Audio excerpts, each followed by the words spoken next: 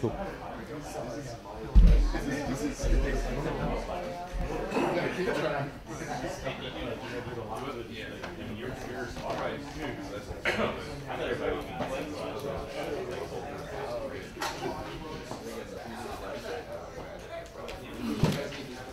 Uh, we will, yeah, if you don't mind, just just scooch those in here. Hey everybody. Hey. Thumbs up. Seven. Uh, uh, I'm Hayden. Uh, guys, some of you guys probably know me um, a little bit. Um, this is Robert. He's a new client of mine, and he's got a product. He's going to tell you a little bit about the product. And then I have s- kind of some questions about best practices uh, for Kickstarter and for e-com for WooCommerce and Shopify and all kinds of technical stuff. So I'm gonna let him go first and kind of explain the, product before I ask my questions. Cool. First of all, uh, thank you for having me at Zero Day. Uh, so I want to say thank you so much. You guys, you guys were hot. So I don't know if I'll be here on a regular basis, but uh, maybe maybe they'll invite me back. Uh, visually, you'll notice that I'm a very large person. Uh, I have been almost 500 pounds at one time. When I uh, when I played college football, I weighed just under 300 pounds. So today I hover somewhere, depending on how many pizzas I eat, uh, hover somewhere between about 310 to close to 350 pounds. Most of those pounds are sexy, in case you haven't noticed. so uh, today we're going to talk a little bit about big people beds. I'm going to explain my concept and why why I feel it's viable. Um, then we'll transition uh, into the Kickstarter aspect. So big people struggle today when they go buy a mattress. Within a year to two, the mattress ends up like this. So they literally are sleeping in a hole. Many of you are far more physically fit than I, so you probably don't know that. But uh, the average person buys a mattress every eight to ten years. Um, big people are stuck buying mattresses one to two years if they're going to get any quality sleep. One of the things about sleep that most people don't realize, so this will help you, uh, if you don't get proper sleep, all the chemical aspects of your body don't work the way they're supposed to. So insulin levels, all those type of things uh, create problems. Well, when you're heavy and your chemical, your chemistry is not right, it makes it extremely difficult to lose weight or even maintain weight. So it's lack of sleep, accelerated weight gain. Okay. Also, people that are heavy stress over their weight. I can't hide my weight, so as soon as I meet you, you know I'm heavy. Uh, so it's stressful. So your stress management with the lack of sleep becomes a problem. So we have designed a line of mattresses that are mechanically better for big people, and that's essentially what we're pitching. Uh, in, a, in the real world, you have to pitch products, and so we have to have a product to exist, but we also want to help people, educate them about proper sleep, even educate them about why their weight gain exists. So in the Kickstarter aspect, which I'm going to pass over in a minute, we have a line of pillows that we've developed with some partnerships that really help big people sleep better at night because big people struggle with their physical size laying on their side and where their head is positioned in relation to the pillow. These products are latex. You'll find that most of the products in the mattress have latex within them. So uh, it's kind of a, uh, a fantastic product for large people because it doesn't degrade as, as simply as foam does. So part of it, what we've also found is that normal sized people, like most of you in the room, benefit from these pillows as well. And that's where the Kickstarter element will come in. So I'll pass over to you as to what your plan is with Kickstarter on the technical side, and then you guys can grill us either product-wise or, or technical side. Could we pass some of this around? Yes, you had a dollar? Latex allergy. Oh yeah, latex allergy. Yeah, let me mention. Actually, that's a great point you brought up. Uh, your body will never really actually interface with the latex. Here, yes. So please don't touch it if you do. But the, the latex will be inside the product or inside an encasement. So you'll have no skin to latex contact with any of the products. But if you are allergic to latex, don't handle this because this is raw. This is the inner the inner core.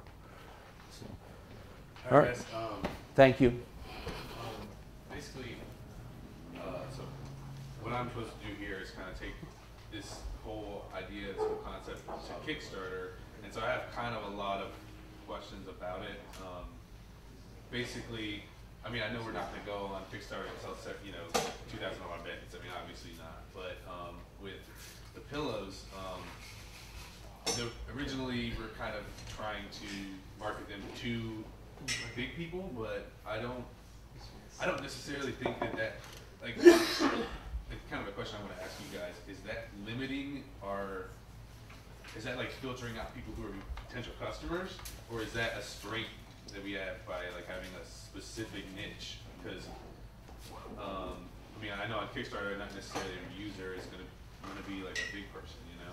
So, what, like, does anybody have? Let me interrupt you for a minute. How many of you know a big person other than me? How many of you have a big person in your life?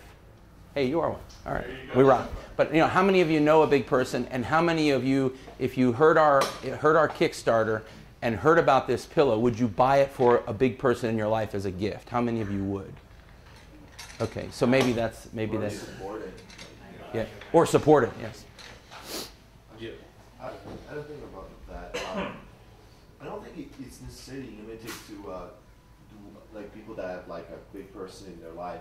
But I think an interesting concept that I think might be worth exploring is insurance companies that are affected directly by the stress that has Mhm. health repercussions mhm. would really really benefit from a mattress like this supporting it in some way or advertising it because then they don't have to charge their customers higher Mhm. because their health will be much better and i Mhm. think if you work your kickstarter that way and you specifically advertise every single health benefit that it has you're going to find a much broader scope because I don't think it's necessarily limited to individuals that have a big person in their life, but also businesses that have to pay health insurance or like are taking care of like unnecessary health repercussions that could be easily fixed by this mattress. I actually bought uh, bigpeoplebillofrights.com because, you know, as a big person, I go rent a car. You know, no offense, I came here today. There was probably only three chairs that I felt comfortable even sitting in. You know, n- like I said, no offense, because when you're big, you have to think about those things. You know, when I was really big,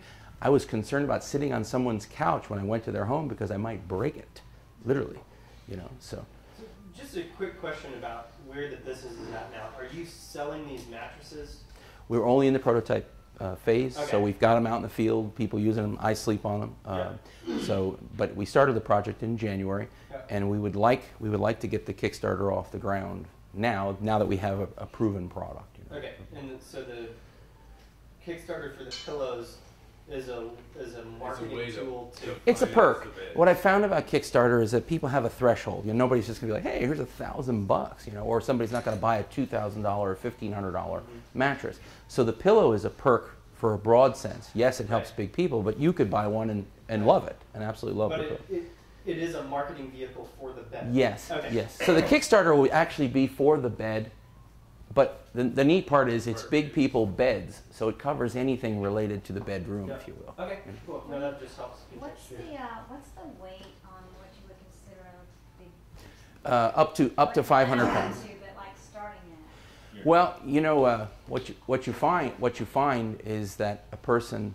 at 150 pounds could technically be a big person because depending on how tall yes, yes. Well, then I think that you don't limit your market, because if that's the case, then why limit it? yeah, you know, like I I, mean, what are the other benefits of it that would benefit Exactly. anybody? Like I, that, that's why I kind of wanted to present it to you guys because I've been kind of struggling with it. Like, is it something that if we put it out there as for everybody, then we'd be, you know, just another product in a sea of like a bunch of sleep products because there's a bunch of sleep products. But what about the indestructible bed or something like that? Exactly. that, that's what I've been talking about because it's got a ten year warranty on it, and there's not really a bed that, that'll like. Yeah. When I approached the manufacturer, when I approached the manufacturer, the the very first thing they said to me was, "Well, what do you expect? You know, what do you expect from us, from a, from a use standpoint?"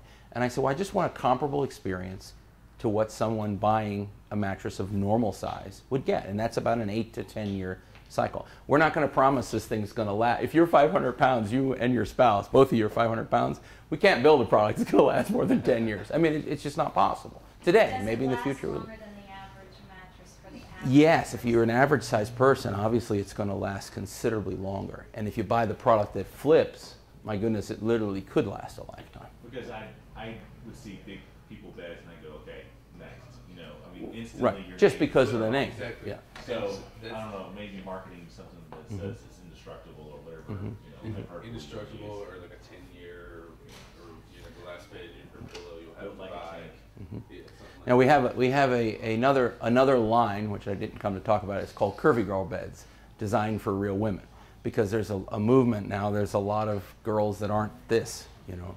And so a lot of girls don't want to buy a big people bed, so we have a line as well called the Curvy Girl. I think that, that, I think that there's a lot of people who, I agree with Bill, like he was just saying, that there's a lot of people who just think, well, I don't need that. Yep, So I think the, like, durability is the, the biggest sell, and it's a huge, you know, it's a huge benefit. It's a Mhm. great thing that like, you know, regardless of your weight, this thing is gonna hold up. Right. That's a great sell. right, But if I saw like, hey, I can invest in this awesome bed, it's gonna last a super long time, it's gonna hold up great, it's not gonna get rickety or sunken down or whatever. mhm, Um, it can support up to such and such, like, weight without being, I think that's great, I, but I agree, that name, or, or selling it, no, I don't, I, I'm not saying that no one will be interested in it, but I think there will be a, a number of people who would say, Sure. well, that's just still figure it out. Well, Yeah. some stats to, to, to go along with what you're saying, some stats. Um, there are 155 million Americans that are overweight. There are 80 million that are considered obese. So take a, take a gander at that. You know, the population is 300 plus, right? So obesity is literally a pandemic, not an epidemic. It's, it's nationwide. And other countries are now experiencing it too. Our focus is the US. So when you look at that, there were $13 billion spent last year on mattresses. $13 billion. And so if you look at those two numbers I gave you, 155 million overweight and 80 million that are obese. So you look at that market and you realize that it, it, it will, there will be a lot of people that, that can benefit from the product.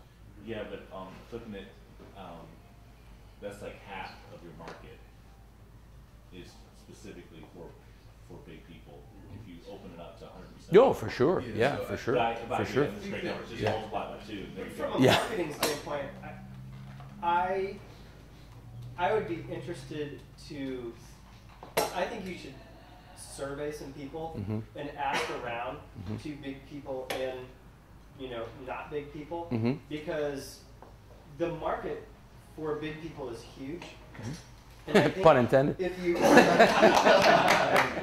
um, if you if you open it up to try to sell like the next invincible bed to everyone, Yeah. you run the risk of commoditizing your product into like all the other miracle sleep products that are True. out there on the market. Agreed. So I think that even though I wouldn't buy that, if I knew, I think that the thing that really caught my attention was the health benefits. Yes. And if I knew that and I knew someone who would really benefit from that, I would absolutely tell them about it. Yeah. But I think that's because it of the of the way you targeted that message. Not Mhm. like, hey, I'm gonna try and sell you an invincible mattress because that's cool, but you know, if I already Right. have a mattress and I'm not gonna buy one for another five years, Right. Then And for me to prove it to you, you'd have to wait 25 or 30 years to find out that it wasn't exactly, invincible, right? Exactly. Yeah. So I, Where if you knew there was some health benefit for your friend yeah. who was big, Yeah. you would you would on social media deliberately make sure that Sure. they they saw it. So it. I think that there's some utility to exploring the targeted market. hmm I had a concept as I studied as I studied uh, Kickstarter. I had a concept. Has has anybody ever had a Kickstarter within a Kickstarter? In other words, uh, let's say that this product was a two thousand dollar product, and you had a friend, but you were willing to contribute two hundred dollars for that person to get that mattress, but you weren't willing to contribute two thousand. Right. Has anybody ever attempted that that you know of in Kickstarter, where you could fractionally buy the product for a friend as a gift? We You- kind of did something like that. Um, my band I was in did a Kickstarter, and raised fifteen thousand dollars, and ultimately they were. I mean, in a way, it's kind of what you're saying. They were paying into the finished product. Yes. And they got a finished product. Yes. Um, not exactly the same. But hmm I can see it work. I know. Uh, I know it's not working out well for him, but Dodge had this whole idea that we're gonna start selling cars and have people buy into features of the car. So somebody will go on and say, I want this new Dodge, whatever it's called. hmm And Joe, your friend, can come on and donate two hundred dollars. To your radio or yeah, yeah, yeah. That's pretty neat. I don't think it's been a huge success. but Yeah. could be wrong. So, I, I agree exactly with what Eric's saying. It kind of reminds me of, uh, you ever heard of Yeti coolers? Yes, yes. So this is kind of like a Yeti cooler to me. Um, you know, it's just this, these super expensive coolers, if you guys don't know it, they were made for like hunting and fishing. Mhm. And they're like super heavy duty. I mean, you can keep like ice in there and it stays cold for like a week. Yeah. Um, and like bear, they have all this stuff. Like they have literally have grizzly bears attacking them. And the grizzly bears cannot like Damage get in or damage Yeah. the coolers or anything. So it started in this whole kind of hunting and fishing industry. But I started to notice now you have normal people spending four hundred dollars on a cooler. Right. And but they've ta- they went after the specific target market. You're going into Alaska Mhm. in a plane, Mhm. and you need to have your food last and your ice last for an entire week, and you don't want grizzly bears to attack it and Mhm. messed up. Mhm. Well, guess what? There are not that many people who fly into Alaska and need to not have their coolers attacked by grizzly bear or damaged by grizzly bears. But now it's like everybody hears about it. You gotta have the best cooler. hmm You know, I mean, Plus, plus, Yeti. I'm the size of a grizzly bear, so it works yeah, out. exactly. Works out. So I don't know. I, I see it as that that type of thing. You, target this one uh, one demographic, then I mean, I think you see that with stuff like GoPro. I mean, heck, I've seen grandmothers with GoPros. Yeah, yeah. Like Yeah. you know, the most extreme, you know, sports uh, Mhm. stuff, Mhm. and now it, now it's everywhere. So I go after uh, really heavy people, and I- let the other stuff like I mean, it's more, more like a trickle down effect. with the other markets. I played college football, and there were a, a lot of guys that were much smaller, but they still considered themselves a, a big man. You know, uh, so I think I think there is a market too for people that aren't necessarily fit a certain pound requirement, but they really want to have a big person bed because they are a big person. You know, so. And I think you can tell those stories hmm of the not big people using the bed to Mhm. go after those markets, but I think your primary focus would be, at least in the Mhm. beginning, to start out. Yeah. Well, um, now what kind of technical questions did you have? Did you have some? Oh, well, Just one other comment, I, I guess I see them as, I see these two products as quite different, and I think this product, I don't know what your, what your name is for it or what you're marketing it as, but to me, this is a much broader market in terms of, I mean, as Chandler can attest, any third trimester woman will do anything Nah. to sleep better. Yeah. You know, could this pillow Wow, Yeah. help yeah. that? It's a good idea. Uh, Could an allergist look at that pillow and say, you're gonna, and, and a person with severe allergies will experience ninety percent less dust mites in their pillow hmm hmm as opposed to polyfiller feathers? Right. Like, could, you have, could you pitch that pillow in a bunch of different ways like that, that you could open it up to a broader market and at a lower price point, so it's easier to do that, as opposed to, Yeah. The reason we brought the pillow into the Kickstarter mix for this is because it is within a price that somebody will pay up to hundred dollars. You know, so that seems to be the threshold in Kickstarter So for the guess I would- perks. I would focus on that, and, and I feel like that would color your pitch in, in Kickstarter too, make it too confusing Mhm. to me. Mhm. But this is a much broader audience. Um, and kind of shifting gears a little bit because we're running out of time. Um, right now, the way we have it set up um, is basically you go to, or I set up a new new Big People Beds website. It's not on the domain yet. It's on the subdomain because we got like some shopping cart. Um, Integration, yeah, Woo integration Commerce. issues, Yeah. Um, so uh, right now we're like there's our distributor website that's it's based off of Shopify, and so we're using a WordPress site to run like the Big People Bed site. Um, and so in terms of like selling the items on the website, we have it so on each item you can click on a widget that once you select your product and everything, it takes you to you know, it, it takes you to the Shopify cart and everything's in there. Um, has anybody ever seen like a WooCommerce site that was basically like one central site where everything's sold from, but then there's like three or four like sub sites that all pull from the same products and they order through the same. So instead of being a, instead of being an affiliate situation, it's more of you come to Big People Beds and you can buy from American Dream Crafter, and we, we want to set up a WooCommerce site, but we'd like you to basically make the purchase, but at the end, on the but stay in the same website, but pull from So from you it. could, like on three different, you know, locations, you could buy something and you're staying in that website, but then, but they're all coming from one central place. Because we have Curvy Girl, we have Big People Beds, we have other URLs, but we'd like it all to come from one one purchase. that- Is that But something site wouldn't go to the other side, they would, they're. They That would be the preference. They would just stay in the site, complete the transaction, and it shows them that they're buying it from American Dreamcrafter, which is our main company. But they've stayed on this site through, say, a WooCommerce or Shopify. Well, um, it's very similar to what eBay used to have when I was on it. Uh, man, those days. Yeah. Sorry. Uh, Sounds like a drug when I was on eBay.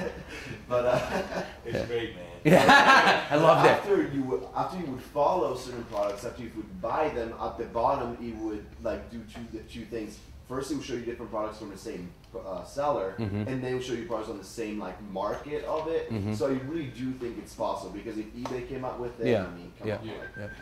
I would say two things. One is I would look at uh, diapers.com, yo-yo.com, soap.com, wag.com.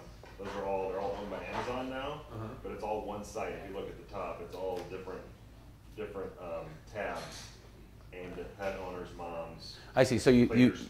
you, you feel that you're on one site, even Yeah. though you're technically You on multiple. It's a little different from what you're saying, but it'll give you one idea. Mhm. Another thing I would say is the only one I know of, because I, I do this, because I sell wholesale and retail Mhm. from the same back end, and I only found one solution that can do it. And I can share that with you. Yeah, that'd be awesome. There's all, I, For a price, for a small fee. no, it's called AmeriCommerce, and it, it's, it's, it's the only solution I could find, this was a year ago, Mhm. that, that allows you to run multiple front ends from the same pool of data on the back end. Okay. That's, yeah, that's exactly what we're looking for. I'll, I'll get a piece with it, with that, but, alright, alright, uh, so, I guess that's it, guys. I really appreciate you guys. Thank you. that. Yep. Cool. All right, don't steal my pillows. Thank you.